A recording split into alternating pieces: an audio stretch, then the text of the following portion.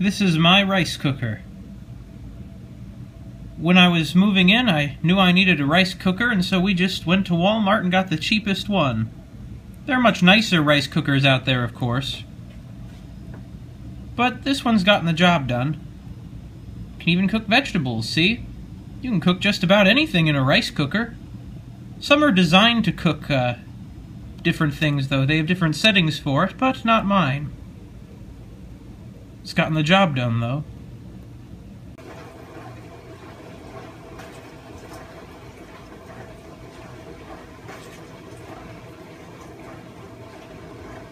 That buckwheat is really bubbling. In any case, you can cook buckwheat in a rice cooker. It's good to know. I put in a couple tablespoons of butter and uh, two cups of water for every cup of buckwheat. You can cook some good stuff.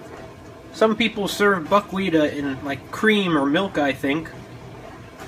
Uh, some people even serve it with like beef stroganoff. But me, I usually just eat it with butter and salt. By usually, I mean I've never eaten it any other way except for with butter and salt. I mean, I, I kind of would like it with beef stroganoff, but to do that, I'd have to get, I'd have to cook it. I'd have to cook beef stroganoff. And I don't want to cook beef stroganoff. I, I don't like working with meat. I need to overcome that, though. I should probably cook with, like, fish. Though, I, sh I shouldn't cook with beef. I like fish. But fish, fish is one thing I think that doesn't go very well with buckwheat. Unless it's like, you know, soba noodles, but those are noodles, not buckwheat.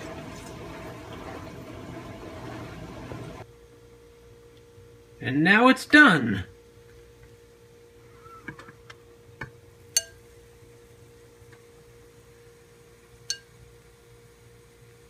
Good and fluffy. It's really not hard to make, and I'm pretty sure there's a lot of protein in it, so...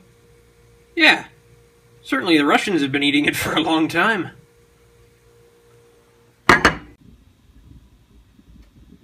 This time I'm cooking rice in my rice cooker, which, you know, is what it's named for.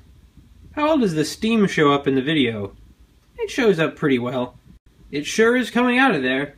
The buckwheat actually sort of clogged up that hole a little bit, but not enough to cause any explosions. I love rice. It's the best food in the world. This time I'm trying to cook buckwheat a somewhat more traditional way. You know, in the pot. And, uh, not only that, I'm cooking it with milk. I'm thinking maybe, I'm, I'm wondering if maybe that's what I've been missing. To make it really taste good is the, is the milk.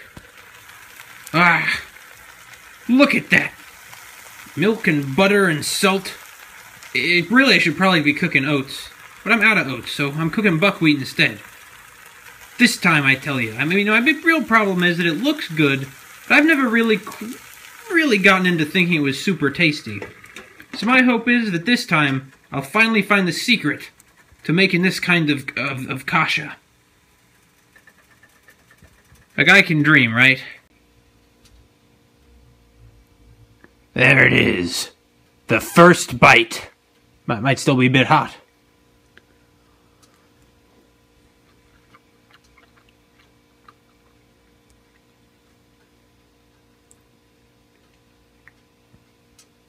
This time it tastes like there's milk with it. Go figure. I think it is an improvement, though. I gotta keep this in mind. Nice and fluffy. Though it is kind of stuck to the bottom. I'll just, oh, you know, you soak it. It won't be that hard to wash out. You know, one of the things about buckwheat is that if you're going to cook it, you should probably buy um, uh, imported roasted groats rather than the kind of raw groats you normally get. Or at least that's how um uh, it's customarily eaten overseas, is the roasted kind. Um, I suppose it's a tad pricier because you have to import it, but you know, it keeps longer. Like if you get raw buckwheat, you should probably refrigerate it, but roasted stuff keeps well. It's important to keep that in mind. I mean, I've never ever tried doing anything with the raw kind uh, because I wanted to try and make it, you know, as Russian-y as I could. Which is still to say not all that Russian-y. I don't have any like mushrooms or anything to serve with it, but you know, I'm trying here. And I think that it's some something good. It's good, good, good uh, well, it's not a grain, actually. It's not a grain. But it is something. It's it's plant food. It's food that's made from that, is a plant, part of a plant. Well, now if you'll excuse me, I'm gonna go eat dinner. Uh, maybe you could try cooking buckwheat sometime. I with this one I uh, uh, took water and milk, and together it ended up still being uh, just about two cups to the one cup of buckwheat. So it's the same ratio. Just there's some milk this time. Maybe if I try doing it with just two cups of milk, I mean that'd be pretty intense. That'd be pretty hardcore. That'd be some hardcore, um, dairy. Hardcore dairy. Don't you agree, microwave? And now the buckwheat soaks, or the bits of it that are burned to the bottom of the pot. Much like people resting in a bathhouse after having washed off and gotten into the big hot pool of water.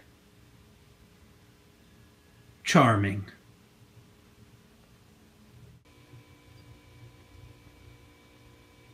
Today I'm just cooking rice in the rice cooker. Just normal rice. Although quite a lot of it, actually. And you need a lot of it to make good fried rice. Leftovers! There we go. Buckwheat with milk is definitely the way to go. I've it, it imparts a slight sweetness to it that I really like. I definitely found the way to eat it. Right now I'm also cooking rice. Yes, that's right. There's rice under all that. What I'm cooking here is uh, takikomi gohan. I've never actually cooked it before, and it probably will come out very poorly, and if you know what it is, you'll look at this and wonder how in the world this even bears any resemblance to it at all. Yeah, you know, you'll at least be able to see the whole rice mixed up with everything. You know, once it's done, though. Dishes. Dr. Reed, I do not deserve to stand in your glorious presence. But if this ever so humble servant may please have your attention for a single moment, it would be an honor I would never forget. Okay? This is all minor though, so let's keep going. We get our ass kicked and are back on the job after six months of recovery. I check in with my irritating IT guy who makes a fourth wall joke that doesn't even make sense within the context of the game and isn't funny. About time. What happened? You get stuck in an air duct on the way over? That's not good. Also, here we have a clear conflict of interest. My boss is calling me into work right away because there's a hostage situation. All right, it's done cooking. Yep. I just need to um, stir it up. I mean, I'll try.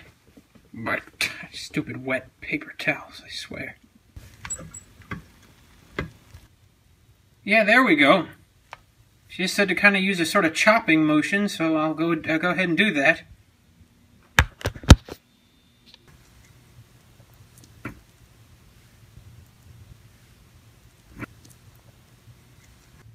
There we go. I mean, it's more or less mixed now. More or less.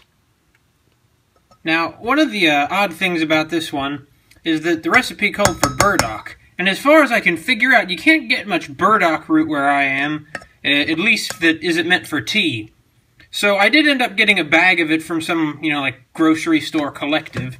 But I'm not quite sure um, whether it's going to be for tea or for eating. So there's a very good chance that it might just literally kill me. Pretty good chance. But it's a risk I'm willing to take.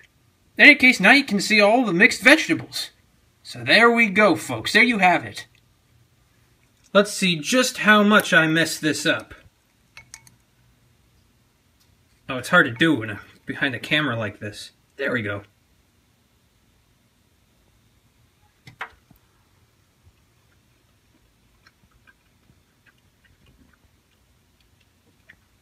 Um, it's fine.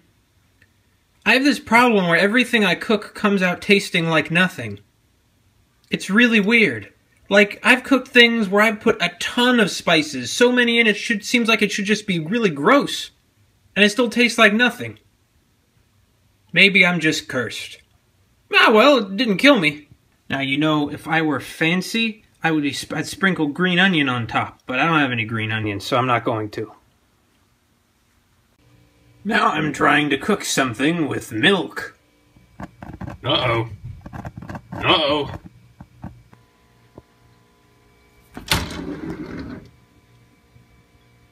I need to do dishes. And let's see how it is now. There we go. Now it tastes like really tasty sockeye salmon with a bunch of flavorless rice. I'll take it.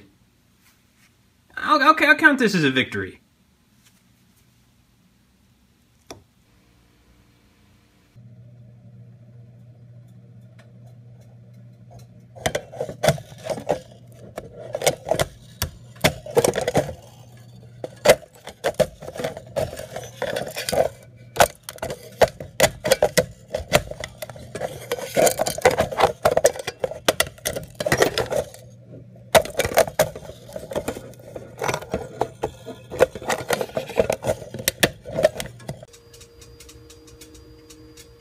I'm cooking buckwheat and milk.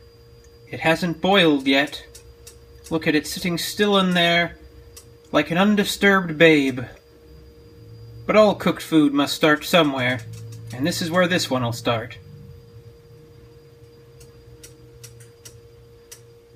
I guess I've made some progress with this rice cooker. Even with a gadget as simple as the cheapest rice cooker they had at Walmart the day I was there, you can still make this kind of progress.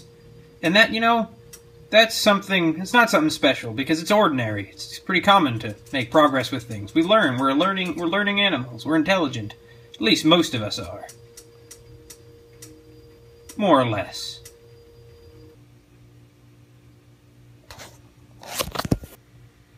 And now it boils. Look at it go. That's the power of, uh, is it convection? I forget.